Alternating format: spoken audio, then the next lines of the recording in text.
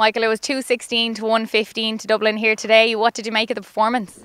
Yeah, I suppose um, Dublin will, will, be delighted to uh, to get straight through to the league semi-final. From a Galway perspective, I think they'll be m- happier with um, in comparison to how things went a couple of weeks ago. A, a, strong improvement from from even last weekend in their victory over Roscommon. There was um, it was a great effort. You know, Dublin came with a surge at the start of the second half, and they, you know, they looked like they were, they were going to pull away. And credit to Galway, they were able to respond through Matthew Tierney's goals. So, and it was it was really uh, all to play for as a two-point game until um, they got their goal in the second, their second goal in the second minute of injury time. Exactly. We'll bring it back to their first half. It was really impressive from Galway. They looked like the hungrier team, definitely in the first 15 minutes or so. Yeah, Galway brought huge energy to the game, and in particular in the first half. And, and we would have commented in, in the press box, like, can they sustain this effort? But um, they, they hit everything. They worked hard on their own kickouts. They um, were measured in their possession and you know they, they didn't just attack willy-nilly. They were they were happy to mind the ball and, and kind of pick off attacks. And at times you know they were able to cut through the middle and draw free.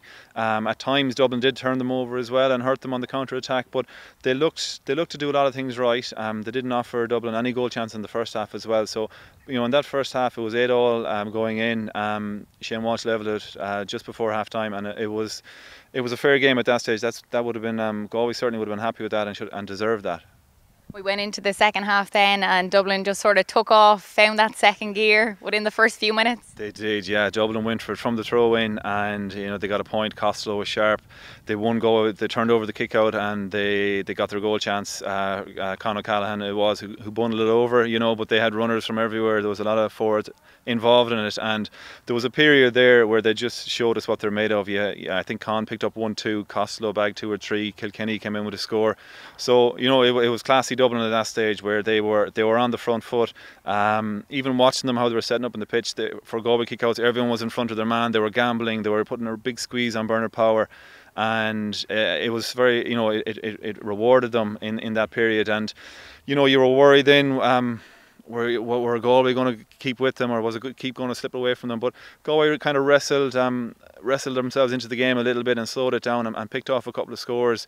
Um, and and with Matthew Tierney's goal, you know, it brought it to a two point game, you know, for the last quarter, and it was really was, you know, it was game on, and you still felt Dublin had that little bit more control over it, and I think nearly all their all their scores were from play, whereas you know Shane Walsh kicked probably seven or eight frees for Galway, so Dublin were they're just so slick when they when they have the ball in hand, they won't waste too many balls, and they'll wait and wait until they get through and get their score. And you know that's what they did very effectively. But but credit to Galway, they stuck with them, and um, you know, bar the, the, the last goal there was just I think a lack a lapse in concentration and just the, you know the legs were gone to track the runner. I think it was Aaron Byrne who, who, who stormed through and he, he stuck it in the top corner. So it was a that that finished the game then.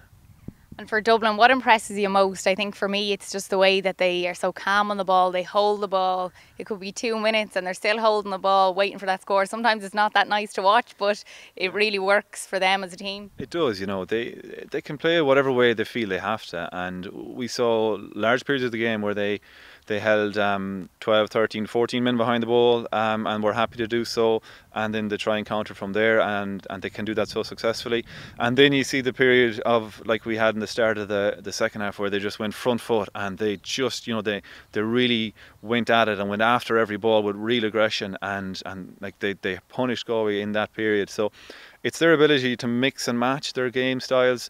Um, I'm sure they won't be awfully happy with their first half. You know, it just they did seem like they were just you know kind of uh, just just getting through the game. You know, there was no real urgency to them. Um, you always felt that they had more in their tank, and, and, and I suppose they did answer the questions that were asked at half time a little bit, and, and invariably, you know, they got the result, so they will be happy. Um, and they, they, they tried a lot of players out today, as did Galway, so they're just getting getting game time into lads' legs, and they'll be delighted to have a league semi final to look forward to now as well in two weeks. Yeah, and you mentioned Shane Walsh. He kicked nine points here today. Is that the problem? Are Galway very reliant on him? Well, there was only two of those from play, I think, um, Aisling. So like uh, there were frees, and the frees were won by you know loads of different lads. So it's it I wouldn't be overly worried about that. Um, you know, you'd love to see even more from Shane from play. You know, he's that kind of player. Um, just to get him involved, get him more touches on the ball, get ten more touches in each half, and uh, like he doesn't have to solo sixty yards every time. It's just a give and go, and and the how he attracts defenders is going to create space for the other Galway forwards as well. So I think there's more in that that they can um, that he can be utilised a little bit more um, to the to the overall benefit of the team.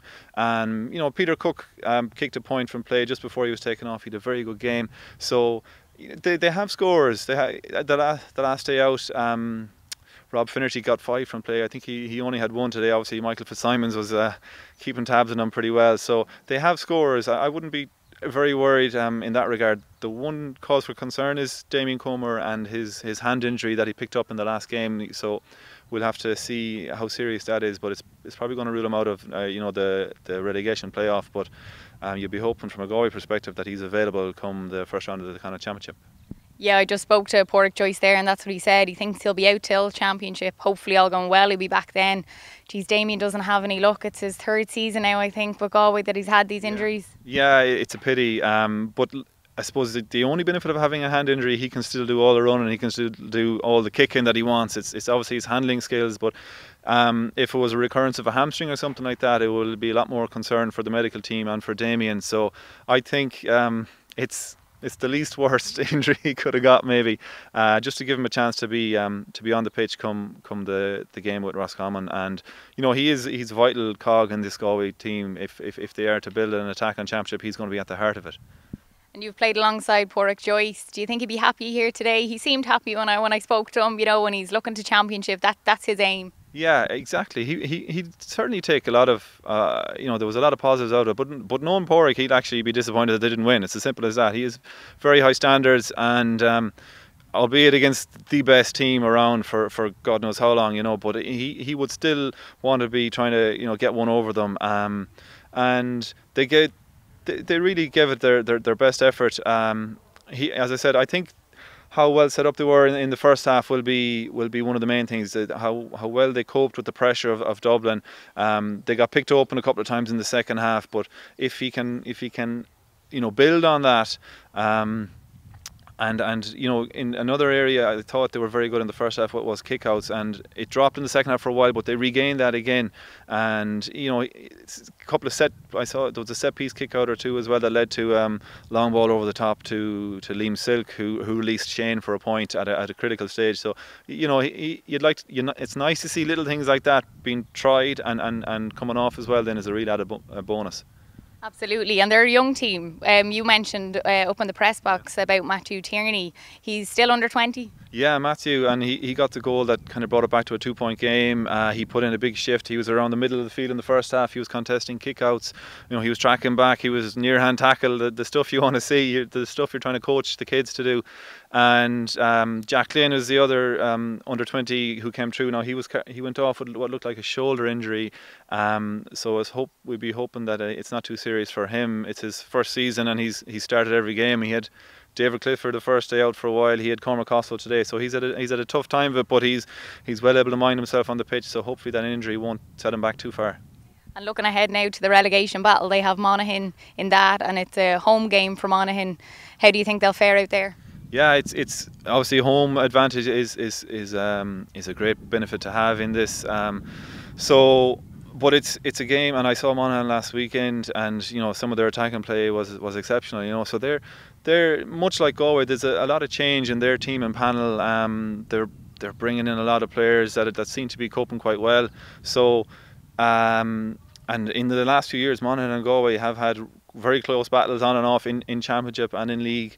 It was a one point win for Galway last year over them at the death in Pearse Stadium. So I think it'll be a very tight game, but it's a great game to get to. Te- you know, for both teams now will be obviously they want to secure their their league league uh, position in Division One for next year, and it's it's a perfect game. You know, in the run out in the run into championship, like you, you're normally you'd be looking for a challenge match, you know, two three weeks out from a from a championship match, and this is a, a, league game with a lot riding in it. So it's a massive game for both teams. I think obviously Galway will be going to win it. Um, and, and, and, and go in with that bit of confidence. Having won your last league game is, is, is far better from a player's perspective and a management's perspective to be to be going in with that in, in the back of your head as opposed to a loss.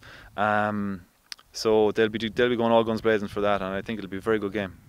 Brilliant, and obviously no supporters here today. I know the Galway supporters would love to, to be here to get yeah. behind the lads. They'll be back soon, no doubt. They will, yeah. There was a few people uh, looking in from behind the goal there. I don't know if we can see behind me, but uh, yeah, you know, it's it's going in the right direction, um, and hopefully that can keep you know we'll, will will keep going in the right way. That we get to see crowds, whatever amount of people at matches, you know. But I think. Um, even the return of the matches has has done so much for, for people following and watching, and it's just the next the next logical step. And I'd say like just the there could be 500 at a game, but I say it'll sound like 5,000 once they're actually let in. It'll mean so much to them, and the players are going to feed off that as well. So it's all in all, it's really positive.